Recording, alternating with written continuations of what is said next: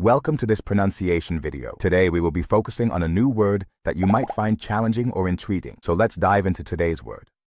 Llevará, which means will take or will carry in English from Spanish. Let's say it all together. Llevará. Llevará. Llevará. One more time. Llevará.